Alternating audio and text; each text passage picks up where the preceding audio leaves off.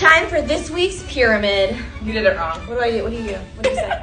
Let's get to this week's pyramid. You did it wrong. It's you asked for it, so let's get to this week's pyramid. But I'm doing it this week. Okay. I think it's good. Nope, I'm doing it. Just kidding. Last at the very bottom of the pyramid is San Diego because you're so far away from Ohio. I don't appreciate it. Boo. Next up on the pyramid, the guy on my flight because he was jamming out that whole time. Next on the pyramid is Riley. Oh! On the pyramid is Andy because she let me stay at her house That's me. and she bought me burritos. Second at the top is Kevin. Whoa! Let's go! Because for once, I made it to San Diego and he answered my texts and showed up.